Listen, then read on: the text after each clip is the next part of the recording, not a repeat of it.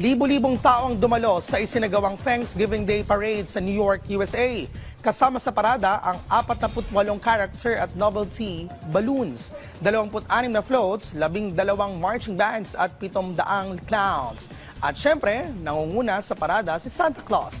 Nagtapos ang parada sa pamamagitan ng pagpapakawala ng mga confetti na hudyat na malapit na ang holiday season.